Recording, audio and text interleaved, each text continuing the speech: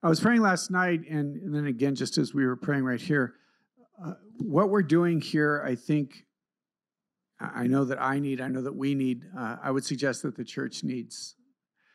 That as I look around and, and I still get to travel quite a bit, I meet with a lot of people, a lot of priests. More than anything, uh, we just need to know that the Lord is, you know, uh, that, that He's in relationship with us, uh, that He empowers us. My concern is sometimes I think we get caught up in, I don't know, the, the debates and the arguments. We're actually going to talk a little bit about this. The intellectual part of our faith, which is important. We're going to send here a university, it's obviously important and essential. But it's also something we can hide behind because it's safer. I was struck by the hymn that we were singing at the beginning here that that we run to the Father, that we're not going to hide. And in a danger, I think, oftentimes as we who are in ministry of the church, we are deacons and priests, we hide behind things. And we can hide behind our ministry, we can hide behind who we are as priests, or hide behind a particular doctrine. Or and, and I think the Lord wants us to be able to move away through that and come to that. So I'm very grateful for that. Amen. Okay, St. Francis of Assisi says, if I should happen, I'm going to go ahead and do this. Stop laughing. Literally, all right, I'm much older than 40, but the morning I turned 40, all right, mid mid morning, I was kind of had a headache. I said, I think I'm going to take some aspirin. I looked at the bottle. I couldn't see how many aspirin. So I, like I had one good morning, and then after 40, it really is downhill, all right? one good morning. Uh, so if I should happen at the same time to come upon any any saint coming from heaven and some little poor priest, I would first show honor to the priest and hurry more quickly to kiss his hands. For I would say to the saint, Hey, St. Lawrence, wait. His hands may handle the word of life and possess the Eucharist, which is more. Such is the love of St. Francis for the Eucharist the Christ who emptied himself and gave himself for us. I alluded on Monday night that, that for, for Francis, the greatest feast is Christmas. Uh, he just couldn't imagine a God who would take flesh. You know, so there's a beautiful image in Greccio. If you've not been to Greccio, it's uh, where Francis began the nativity scene. This image, an individual in the congregation uh, had that Jesus was asleep. Francis believed that if we could actually see what the Lord had done, that it would impact us. So he does the nativity. And this evening, they were praying, and, and this person had this image of Jesus asleep, and everybody was trying to wake him. And Francis would go and he would take the Christ child, and the Christ child would awaken when Francis took him. His ministry is to awaken, right? To awaken in the hearts of believers who Jesus is. Francis would be in a cave uh, up north in Assisi, and he would be there and he'd be quiet and he would be wrestling with his brokenness and his sinfulness. Francis would say, and it wasn't just hyperbole, he would say that he was the greatest of sinners. And what he couldn't imagine is that this God uh, would love him in the midst of his brokenness and in the midst of his sinfulness. That God would eventually come and to take on flesh enter into the messiness of his world, the messiness that was the human existence and the human condition, and that God would would enter that. So for Francis, it's it's though he was in the form of God, Jesus didn't deem equality with God something to be grasped. Rather, he emptied himself. He, he empties himself and takes on flesh. And Francis just couldn't imagine this. That the Almighty, omnipotent, all holy one would take flesh and look like you. Literally, well, some of you. Right? You know who you are.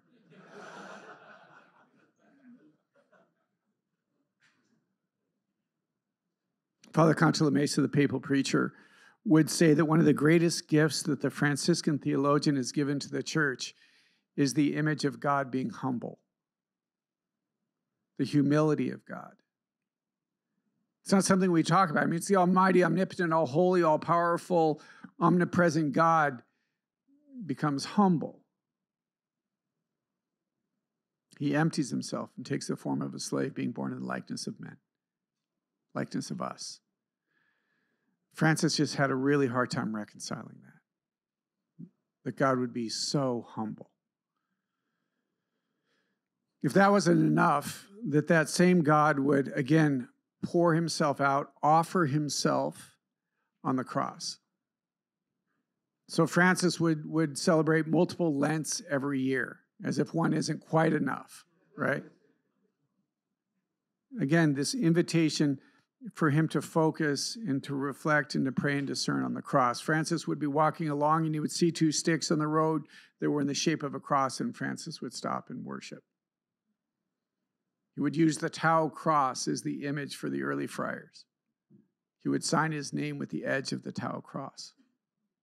Again, it's the humility of God. He just he couldn't imagine first off a God that would take flesh. That was that was pretty remarkable, but that same God would take upon himself the sins of us all, and this almighty, all holy, all powerful God would allow himself to be humble, to literally be humiliated, to be stripped naked, right? To be placed on the cross for everybody, for just people walking by to gawk and to mock and to make fun of. I mean, that in itself reveals something to us about who God is. I've said multiple times if I was God, if you have nothing to be grateful for, be grateful that I'm not. Amen? Seriously, I would suck at being God. Well, actually, from my perspective, I would love it. Nobody else would love it. Like patience, not so much. Like I'd, I mean, I'd be probably fairly patient, seven times seventy, but that's it, right? You just couldn't imagine a God who would go to the cross. Again, who would humble himself in that manner, who would allow himself to be humiliated. I shared last night as we were praying this, this image of Hebrews that, that the author of Hebrews presents about um, Jesus who's able to identify with us because of his weakness, right? It's not an image that we reflect on. We largely see weakness as something to be overcome, but what I think Jesus reveals to us is weakness should be embraced. We equate weakness with sinfulness, and those two things are profoundly different. The part of the human condition is being weak, it just is. And Jesus takes on weakness, he becomes limited. He becomes humiliated. And again, for Francis, this was just un, un, unimaginable. And maybe finally, the icing on the cake for Francis is that, that this same God who pours himself out and takes on flesh and allows himself to even further be poured out and goes to the cross and is crucified for us, that that same God will once again pour himself out to us in the Eucharist. And this just this was the final straw for Francis. I mean, talk about humility.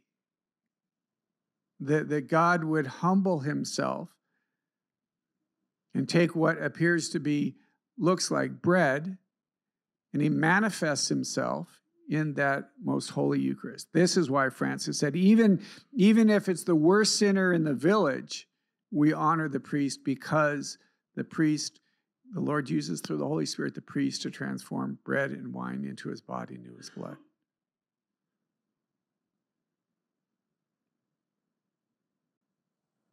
Such is the humility of God. And we've all been in experiences, I'm sure, that we've been with individuals, parishioners, people that just don't quite get it. I remember I was doing a retreat. I was I was on net, so I wasn't not ordained. I was a kid. This teenager comes in to receive the Eucharist, and, and he was walk, walking back to his pew, and he was acting like it was a quarter, and he was flipping it in his hand. It was not my finest moment.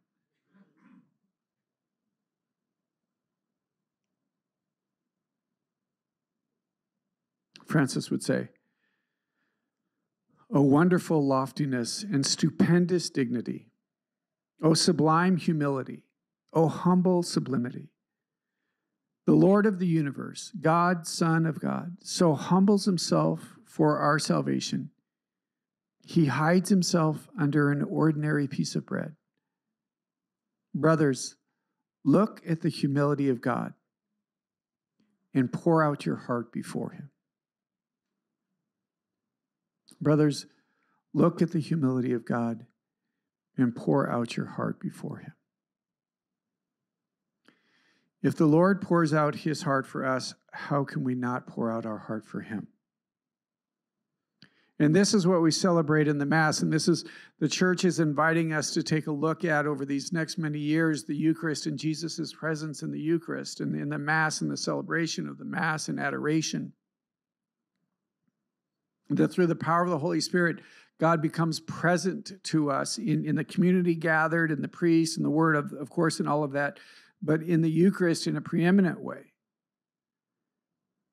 And my concern is that we live in a church right now that, that the Eucharist is becoming the battleground, literally. Which side are you on? What kind of music do you like? What are you going to wear? What language are you going to speak? What way are you going to face? It becomes this, it's, it's, it's a huge, I think, a, a actually fairly significant and impactful and devious attack of the evil one. That place that we're supposed to be most divided, brothers, we are oftentimes becoming most and we're supposed to be most united or becoming most divided. Louis de Montfort says the corruption of that which is best is worst. So if it can corrupt the way we see the unity and the beauty of Christ and we, we forget what's taking place there, and we begin to fight over these things. And I've had a couple of experiences to be able to be in places where the Eucharist isn't celebrated very often. And there's something really profound about that. I shared with um, the group at the Power and Purpose Conference an experience in, in Africa and being able to uh, give communion in Africa. But I've also had a number of times been able to go to China and work with the underground church. And, and to be with a group of men and women who don't get to celebrate the Eucharist very often. Remember one time we had uh, Eucharistic adoration, which is very commonplace for us. It is not commonplace for them.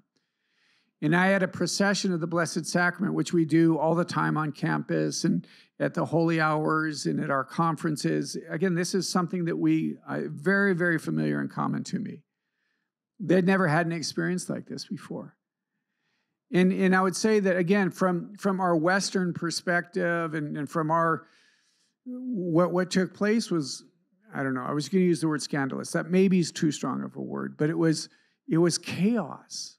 I mean, people were gathering around and they were starting to pull on my vestments and wanting to, to touch the monstrance and to touch the Eucharist. And, and I'm sure that there were liturgists that, that are here. It's like, what are you doing? You can't do that. You can't. And just, and just kind of going crazy because it just looks so chaotic. And, and I will say that it was kind of, it wasn't frightening. It was just overwhelming because there was so many people and they were just kind of gathering around. I felt like, I felt like I was a halfback trying to make it through the goal line, right? And there's all these people. And finally, and it's, you know, whether in China or the United States, this nun comes up and says, Step back. And she just kind of takes control, and all the people are like, Oh. Yeah, you, you, you, you, doesn't matter what language you are, nun's a nun.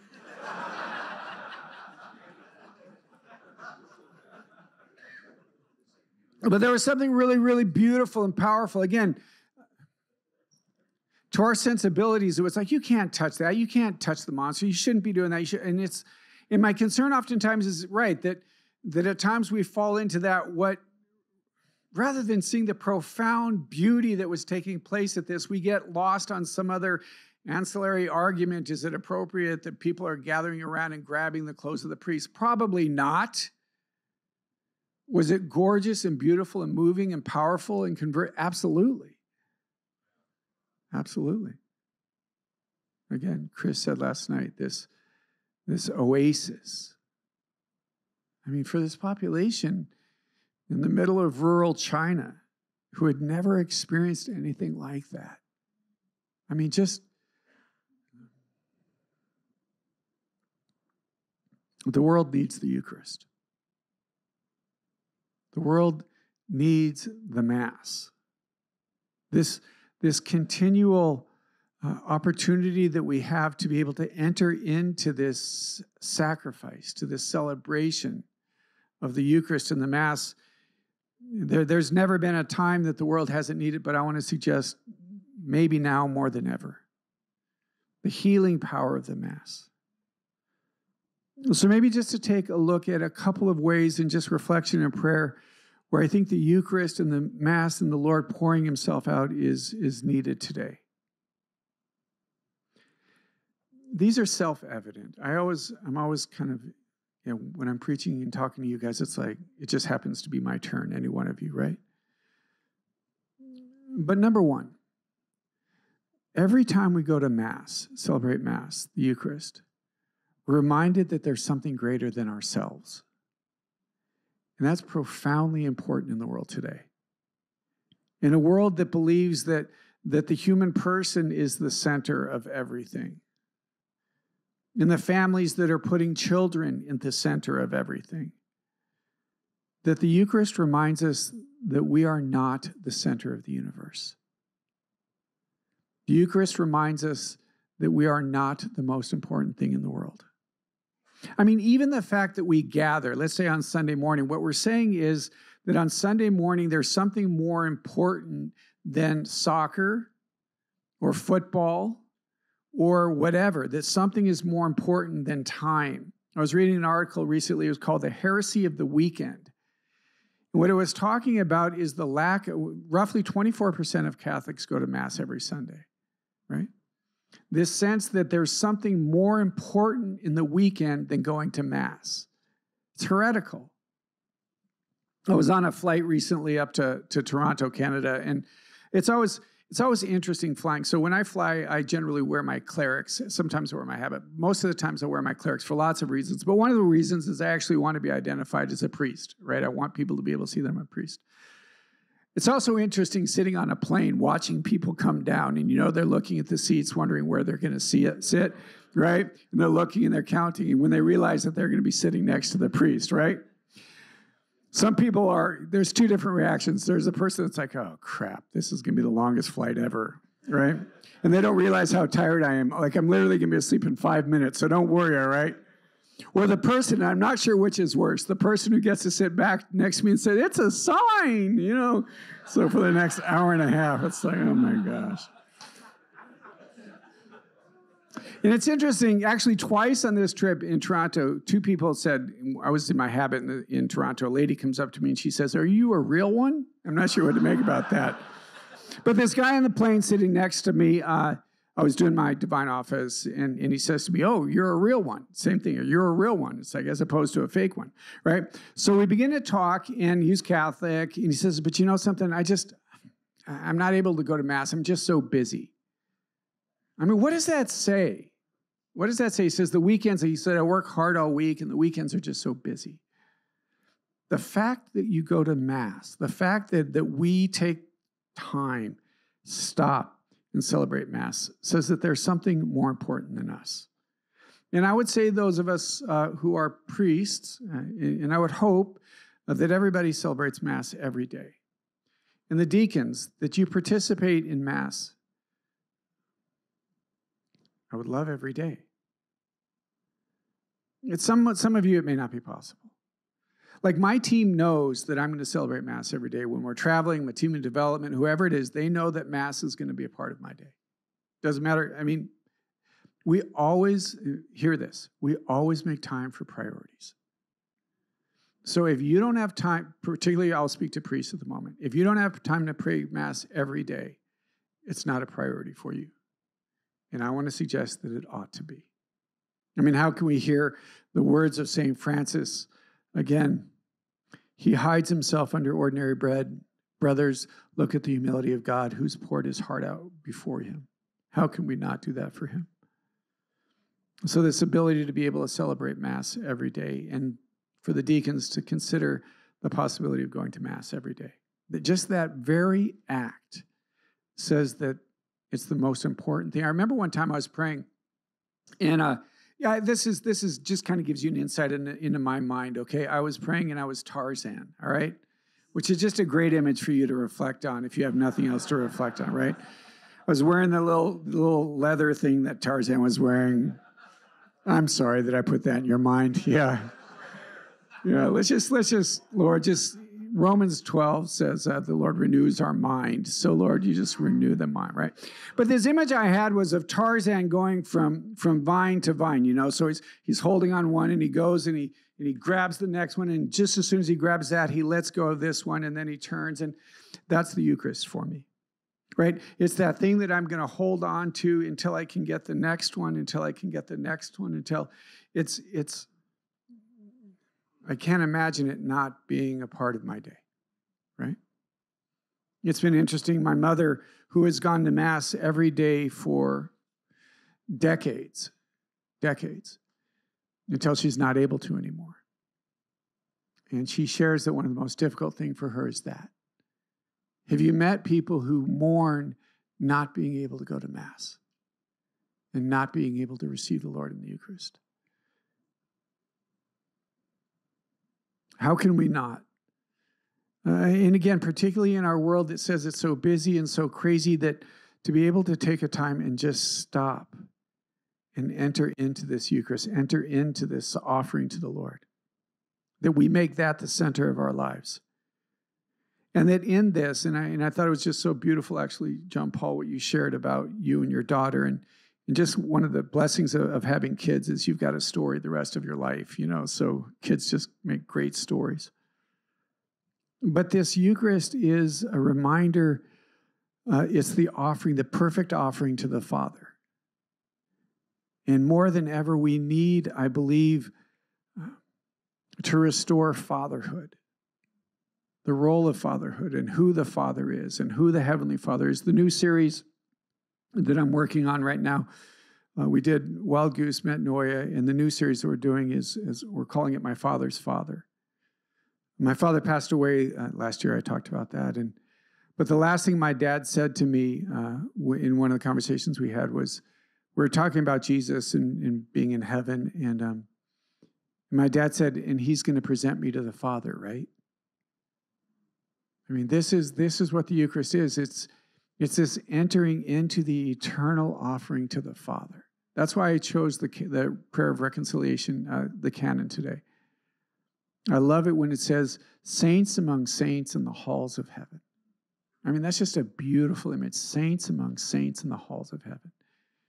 That all of our lives, brothers, the, the, the, people that we're ministering to, is to lead them to a place that one day they're going to be presented by Jesus to the Father.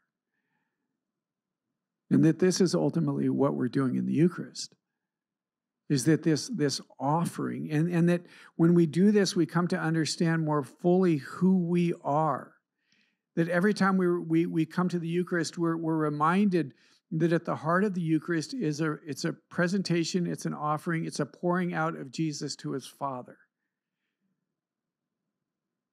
And that's ultimately where we identify ourselves. We've already talked a little bit about the, our sense of identity. Uh, part of this series, uh, we're able to interview uh, Father Jacques Philippe. Uh, I don't know if you've read anything from Father Jacques Philippe. He's a French uh, priest. He's fantastic. Yeah. One of the things that he says when we were talking about the struggle that we have in an identity in the United States, um, you know, basically we live in a world now that says whatever you want to identify as, you can identify that, right? Whatever that is, little furries and animals, it's just it's just nuts. Okay. There was a little kid, 11 uh, year old kid in Massachusetts who wore a shirt to school that said there are two genders uh, and he's been suspended. And you say you can't wear that, although you can wear anything you want with any gay pride, lesbian, transgender, anything you want, but you can't wear something like that, right? But what the Mass reminds us of, brothers, is this fundamental relationship the relationship between a father and his children in First John, it says, Yet that is what we are children. Yet that is what we are children of God. This is what identi- who we are. And Father Jacques Philippe says is that, is that our identity is received. It's not figured out, it's, it's received. That, that the Father gives to us our identity so that I am first and foremost, I am a son. That that, that is what identifies me. We had a kid uh, who applied to university as a, a freshman last year. And she was talking, sharing with me some of the applications that she did at other colleges. And they were asking, you know, are you male, female, with this whole list of choices of what you could identify as. And she scratched them all out and she wrote, I'm a daughter of God. Right? That's what identifies her, right? What identifies her. That this idea of, of this offering, that the Son again offers himself, pours himself out to the Father as Son. This is who I am. And the reality, brothers, is, is that the, the reflection about God as Father is uh, profoundly vulnerable and in some, in some circumstances very difficult because their father has not been present in their life for one reason or another. And this is where the Spirit of God in the Eucharist helps us come to understand what does it mean to be father and what does it mean to be son or daughter. And just as much as we need the transformation of our image of father, we need a transformation of our image as sons. And my suspicion is that those of you who hear confession could say the same thing. I've had a number of people over the years talk about how bad their father was. Anyone ever hear anything like that? Amen? Right? Rarely do I hear people say, I wasn't a very good son. Right? That Jesus wants to reveal to us what does it look like to be son? To be obedient, to be loving, to be kind, to be generous, to be compassionate. All of this, this, this this mystery that we call the Eucharist is, is the revelation of these realities. Amen? What else takes place in the Eucharist that would be good for the world to hear? That we have sinned. When I was talking with Deacon Ralph, um, and I'm still not sure why he keeps on raising his hands. Um, uh, about uh, the Confiteor this morning. I said, I want to make sure that we pray the Confiteor. We live in a world that doesn't believe in sin, um, that, that, that's antiquated. Um, and we begin the Mass the rec- with the understanding the recognition of our sinfulness. And the world needs to know this. And yet, my concern is, and I would ask those of you who are able to preach, if you ever just preached on the Confiteor. I mean, listen to uh, a, a danger we go is we just say the prayers because it's what we do, but listen to what we're saying. I confess to Almighty God. Right? That's how we start. And to you, my brothers and sisters, right? That we, we literally stand up, but we just go through the motions. Are we really doing it? That's why Sometimes it bugs me when they say, okay, let's take a moment for our sins. I confess. Uh, let's give ourselves a minute to let the Spirit of God show us our sin and really recognize and preach from this. I confess to Almighty God and to you, my brothers and sisters, that I have greatly sinned in my thoughts, my words, and what I've done and what I haven't done. Through my fault, through my fault, through my most grievous fault. Therefore, I ask the ever blessed Mary, ever Virgin, and all the angels and saints, and to you, my brothers and sisters, to pray for me to the Lord our God. One time at the end of the Confiteor, I said, Did you do that? They said, Do we do what? You just said, Pray for me to the Lord our God. And that we live in a world in an age that has totally disregarded any sense of sin and brokenness and accountability or anything like that. And we begin every liturgy with the, with the recognition that we have sinned and that ultimately that God is, may Almighty God have mercy on you, forgive you of your sins. I think where I had a student who one time walked out of the Mass and, and he asked me, we had just had Mass, and I said, he'd asked me, can I go to confession? And, and so we talked for a minute. I said, do you understand that every time you come to the Eucharist, there's the possibility, as long as you're not in mortal sin, that your sins are forgiven? that the nature of the liturgy is the forgiveness of venial sin. It's a part of the rite. it's part of what we believe. And yet, most, no, that's not fair a certain percentage of the individuals who are coming to Mass, it's never honestly even thought about. If they're honest, it's not thought about. And I think that we need to be able to take an opportunity, first off, in our own lives, that, that when I go to the, it's just not them who's making this prayer, it's me. And that we as a priest get to stand up before them and say, I've sinned. And on one level, that's something that's very liberating, and it's also something that's very frightening. But I would say that one of the blessings, if you will, danger to use the word, of this scandal in the church is that in one way it's humiliated us, right? That God uses these earthen, broken vessels, some who have done horrible things. And again, Francis would say, even if you've done the most horrible thing, you're still a priest. And there's nothing that can ever change that. So, so that we as priests stand up and that people know more now than they ever know that they are earthen vessels, that they are not totally unlike me. I remember one time I was at a conference and, and this, this guy was saying to me, he was, you know, you know, Father, you're wonderful, blah, blah, blah, blah, blah. Um, and I said, No, I'm not that different than you. And it was interesting. He said, Father, I want to believe that you are. Right?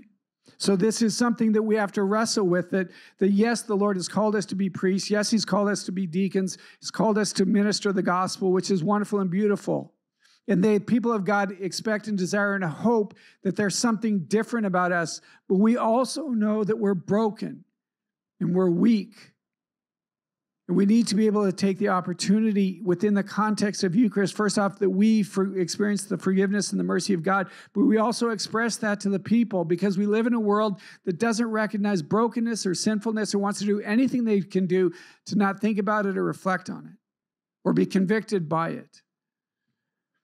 And every time we celebrate the Mass, it reminds us about our sinfulness, but deeper still, the mercy of God and the forgiveness. And that it's not just that this forgiveness and this mercy, but it's the community gathered. There's something beautiful about the community gathering. And we pray that. I confess to Almighty God and to you, my brothers and sisters, right? To you that I have sinned. We just go through the words. There's something beautiful about the, the, the sign of peace that we offer to each other. It's not, it's not just a good morning, right? It's like it's not just looking around saying good morning, good morning. The sign of peace, there's something about the body coming together and reconciling and offering each other peace. On one of the trips that I took to China, a, woman who was with me was from an Eastern Bloc country. And she shared a story with me that in her small village, when communism was at its height, um, many of the people that were in the Communist Party that were actually causing such suffering for the people in this village were Catholic. In this one particular story, she told of, of her mother and her father that were walking, and a communist official came up and started harassing her mother, father, and just beat the father, beat her father, just mercilessly just beat him. The fall of communism years later, they always knew, she said, we always knew this, this man was a communist and, and we could never forget what he had done to my father. She shared a story that one particular day uh, they were in Mass and this communist official was in the back of Mass and he was attending Mass because he was a Catholic. And it was a sign of the peace. And she said at this time, my mother was quite elderly, and she kind of shimmies her way uh, out of the pew and, and walks down the aisle and confronts this individual and offers him peace, right? And forgives. Every time we celebrate the Eucharist, there's the possibility of forgiveness and mercy and reconciliation. The nature, it's ordered towards that. I think the world needs that. Amen? The fourth is the, the church, the, uh, the liturgy is inviting us to a greater prophetic stance. I read one time it said uh, the prophetic is the conscience of a community. How does the how does the liturgy, how does the mass pique our conscience? Well, one is that it's a celebration in the midst of trial. It's a celebration. I remember one time I was talking about the celebration of the Eucharist, and somebody came up to me and they were frustrated that I was using the word celebration, right? They said, Don't you know that it's a solemn? I said, Yes, I know right? Again it doesn't matter what we say there's and this is fundamentally true. It doesn't matter what we say about the eucharist there will people will say you shouldn't say that right? I remember in seminary they taught us that, uh, that when you're talking about mystery it doesn't mean that you can't say anything it just means you can't say everything right? Everything. But i think out of fear of as was mentioned this morning by ralph the, or maybe it wasn't ralph i don't know where it was the fear of man rather than fear of god. We're afraid to say anything but I just think about the celebration of, of the Mass, that in the midst of just stress and anxiety, that we can come to Mass and we can celebrate a God who loves us, a celebrate a God who's risen from the dead. In all things, celebrate. Last couple of weeks, I've had the opportunity to go to a couple of funerals. Uh, you know, it's funny. One of them was I was on vacation, and it was like, ah, is this really how I want to spend a day of my vacation, right? So I was very blessed to be able to go to the funeral. And Father Joe, who I was traveling with, uh, on the way back, he said his experience, and, true, you never regret going to a funeral. You know, it's never like, ah, crap, I shouldn't have done that, right? there's something about the solemnity and the celebration of life and the celebration of the Lord's love and, and, and the familiarity of the Eucharist in the midst of our struggle and our trial that's beautiful. That the Mass is thanksgiving. It's that we live in a world that is, uh, I think there's something prophetic about us saying thank you. You know this eternal thanksgiving. That's one of the things i love about the eucharist just to reflect on that that that each one of us would be in the situation where we want to say thank you to the lord but it's not just enough. So this eternal thank you that we enter into the thank you the son to the father. Remember one time i was in, in baltimore and uh, we're in little italy. I was with my niece and my nephews my brother and his wife and the two nephews that were doing coffee at the end i mean two nieces were just tired of sitting around at the restaurant. So they said can we go for a walk? So i went for a walk and there was this about a block away, this huge limousine, and my two nieces were maybe a quarter of a block, eighth of a block in front of me, just a few steps in front of me. But they were looking at this big limousine. It's like, ooh and ah, and how cool it is, and this and the other. Well, the driver comes and he says to the two little girls, Do you guys want to go for a ride? It's like, You freak. Like, I go walk up and I said, Whoa, whoa, whoa, whoa, whoa. And he goes, No, no, no. I was going to take the three of you for a ride. He said, The the guy who rented this is just went in for dinner. It's going to be a long time. So my little nieces are like, I said, yeah, it's fine with me, right? So this guy was so sweet. He, he said, you start with this. I started to open the door. He said, no, no, no, let me take care of it. So he opens the door. These two little girls, like one was three and one was five. And she opens up the door and they get to go in and they're just, she, he just takes care of them, drives around a block a couple of times. It's funny, my little brother calls, he goes, where are you? Like, I'm outside the hotel. I said, you're not going to believe where we are, right? so we pull up to this, in this, I mean, it's this massive limousine, and we pull up to the restaurant where my brother was, and the door opens up, and these two little girls pop out, and everyone's like, like, who are they? Some movie stars, right? But the driver, the driver was a, he was Greek, uh, and he said to the my nieces were very sweet, and they were saying thank you, thank you, thank you. And he said to her, I said, "Do you know how to say thank you in Greek?" And they said, "No." And he said, "Eucharist." And he says, "Eucharist." She was Uncle Dave. Smart girl. Uncle Dave, that sounds like Mass. It does sound like Mass, doesn't it? This thank you. It's been said that a saint is the one who says thank you and they know who it is they need to thank. If you go to the Washington Monument in, in Washington, or the Jefferson Monument in DC, going to the monument, you folks looking at the statue, you look off kind of to your left and in the back it says, uh, I fear for our country at the thought of a God who is just and cannot withhold his justice forever. We live in a world that doesn't even know who they need to thank for the sunrise. I mean, how empty that is that you, you go to the Grand Canyon and you look at the beauty, it's like, who do you thank?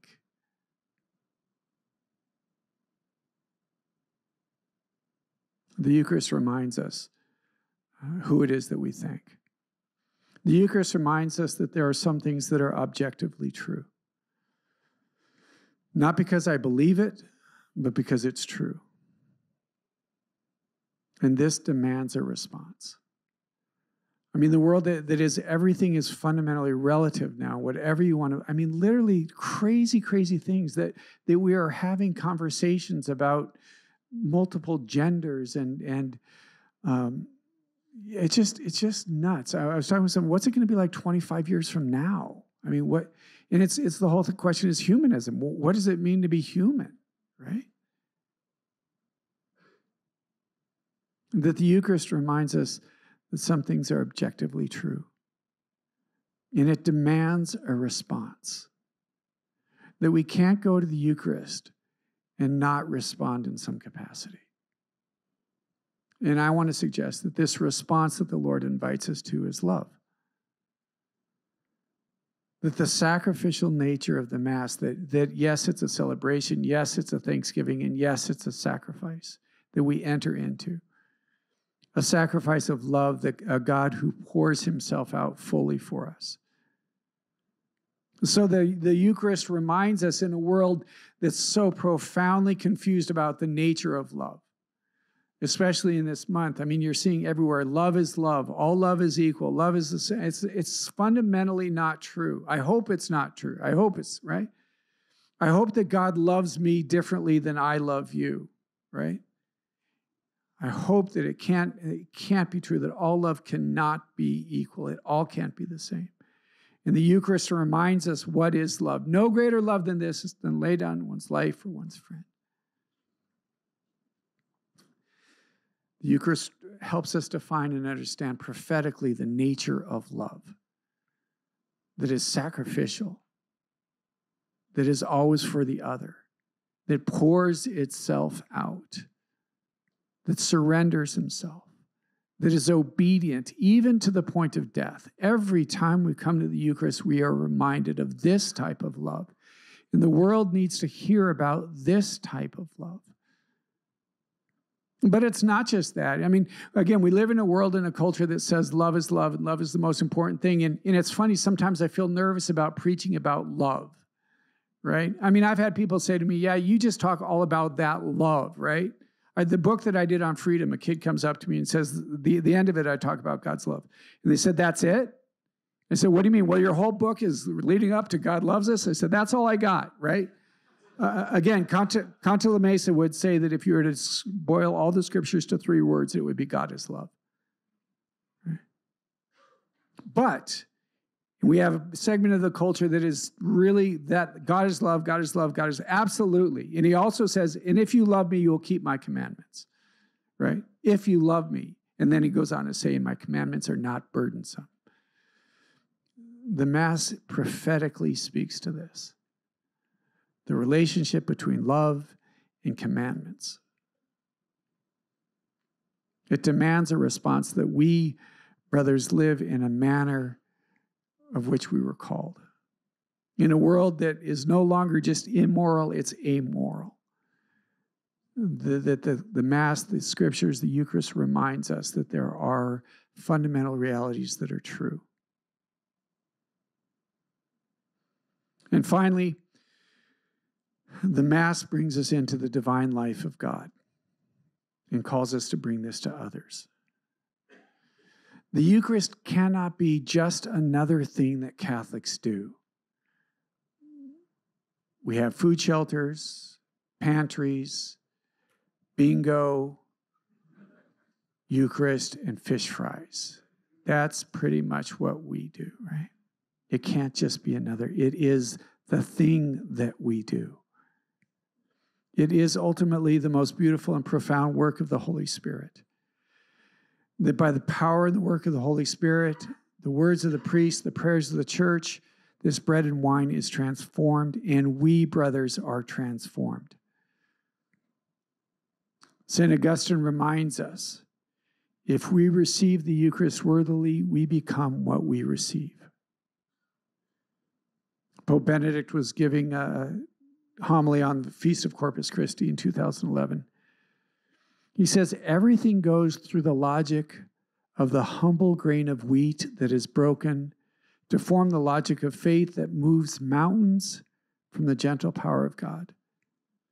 For this reason, the sacrifice of the Eucharist is given to the world.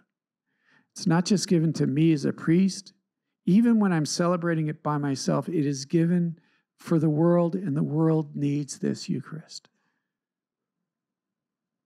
The Eucharist is given to the world to give every person the possibility of salvation. For God wants to continue to renew humanity through history and the cosmos, through the chain of transformation of which the Eucharist is the sacrament. To better explain the, the effects of the Eucharist, Pope Benedict is going on. He says, I quote from St. Augustine. He says, I am the food of the strong. Grow and you shall feed on me. But you will not convert me into yourself, the bodily food, but you will be changed into me. Brothers, we need to remember that in the Eucharist, in, in God's saving grace, in the work and operations of Jesus, in the movement of the Holy Spirit, we are being divinized. We are, Jesus didn't come just to fix things and make things better, just to bring life. He came to make us like Him. And that every time we come to the Eucharist, we are supposed to, it's not just the bread and wine that's being changed. Brothers, you are supposed to be changed. And this should be seen. It should be recognized. People should be able to say, if you're going to Mass consistently, that there's something about you that's changing. You're becoming more patient, more calm, more joyful, more loving, more forgiving. The whole reason that Jesus humbles himself in the Eucharist is to bring about the transformation that takes place in us in the life of the church when we receive it. We are supposed to become holy as he is holy. One cannot receive the Eucharist without being changed by it. St. Francis would say, Humble yourselves that you may be exalted by him. Hold back nothing for yourselves, that he who gives totally for you may receive you totally. I think this is the challenge and the gift that we have in the Eucharist is, is to receive him, to be transformed by him, to be changed by him, and go out in a world that desperately needs to see and experience that.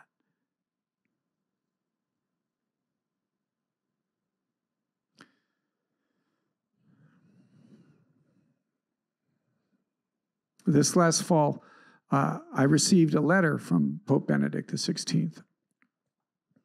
That's what the kids like to call a flex, if you didn't pick that up. we were doing a conference on uh, Benedict and on the Second Vatican Council. And he would say, Vatican II, he would write in the letter, Vatican II would be helpful in the struggle for a right understanding of the church in the world in our time. He would say the need to reformulate the questions and the nature of the mission of the church has gradually become apparent. In this way, the positive power of the Second Vatican Council is emerging. He would go on to say that in reality, the new council proved not only to be meaningful, but necessary. He would say, I sincerely hope that the, universe, that the symposium at Franciscan University of Steubenville will be helpful in the struggle for a right understanding of the church and the world in our time.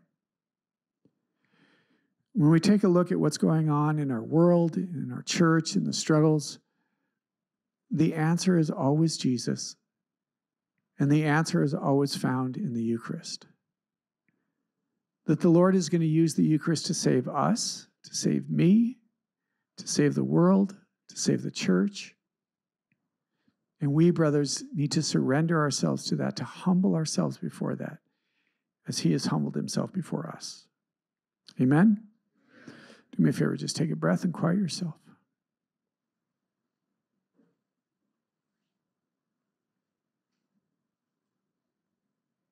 And what is the Lord saying to you? Come, Lord Jesus.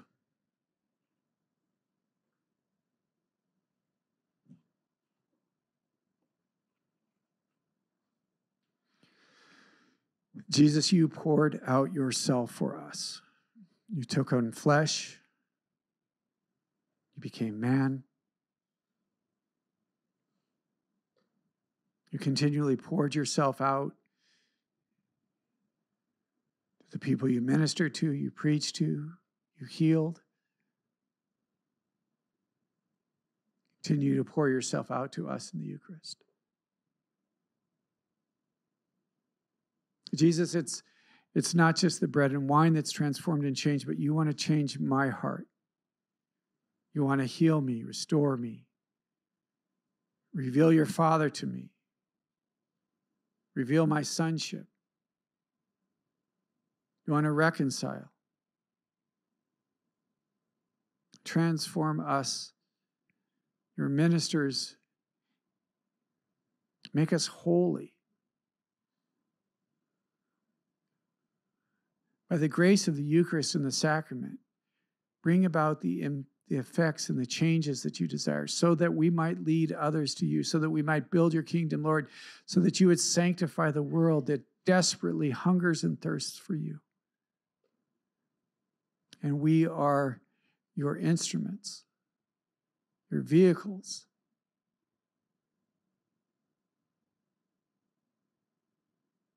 Come, Lord Jesus.